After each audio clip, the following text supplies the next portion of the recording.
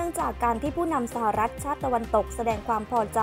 ผลงานกองทัพยูเครนในการรุกไล่ทหารรัสเซีย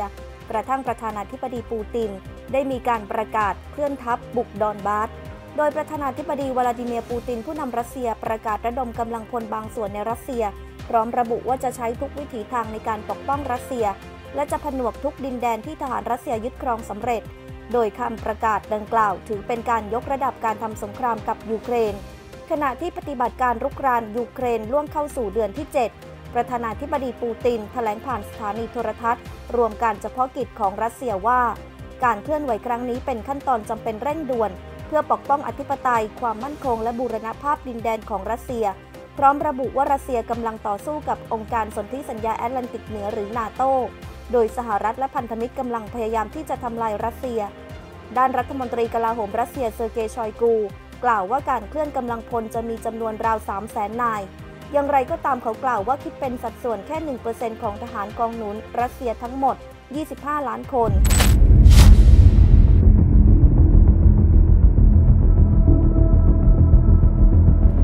ล่าสุดในหลายเมืองของรัสเซียได้มีผู้ออกมาชุมนุมประท้วงบนถนนหลายพันคน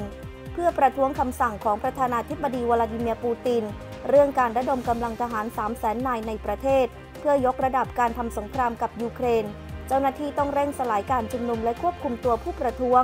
กลุ่มนักเคลื่อนไหวรายงานว่าการประท้วงครั้งนี้เกิดขึ้นในอย่างน้อย 38 เมืองของรัสเซีย เป็นการประท้วงครั้งใหญ่ที่สุดนับตั้งแต่รัสเซียมีปฏิบัติการพิเศษกับยูเครน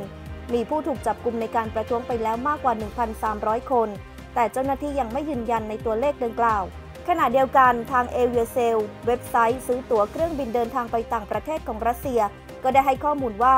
ตั๋วเครื่องบินจากรัสเซียไปตุรกีและอาร์เมเนีย ถูกขายหมดอย่างรวดเร็วภายในวันเดียว เนื่องจากทั้งสองประเทศนี้ชาวรัสเซียสามารถเข้าประเทศได้ โดยไม่ต้องใช้วีซ่า ส่วนตั๋วเดินทางเที่ยวเดียวไปต่างประเทศก็มีการซื้อจำนวนมากจนขาดตลาดไปแล้วเช่นกัน ทั้งนี้ที่สนามบินอาร์เมเนีย ชาวรัสเซียบางส่วน ได้เดินทางมาถึงแล้ว โดยพวกเขากล่าวว่า จะเฝ้าติดตามสถานการณ์ต่อไป สงครามในยุคนี้เป็นเรื่องไม่ถูกต้อง ไม่มีใครสนับสนุนสงคราม และมันควรจบลงโดยเร็วที่สุด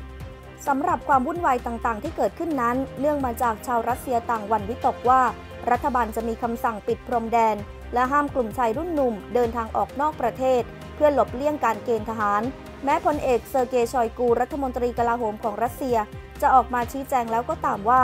ทางกระทรวงกลาโหมจะระดมกำลังของชายหนุ่ม ที่มีประสบการณ์ด้านการทหารและเคยผ่านการฝึกมาแล้วเท่านั้น แต่จะไม่ใช่นักเรียนนักศึกษาแต่อย่างใด ดังนั้นให้หยุดความหวั่นวิตกและกลับไปเรียนตามปกติ